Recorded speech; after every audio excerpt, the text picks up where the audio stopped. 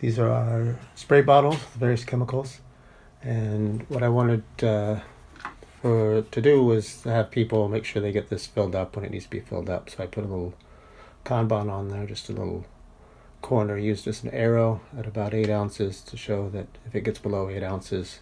the next person or the person who's using it should refill it for the next person so they don't have to uh, get out there and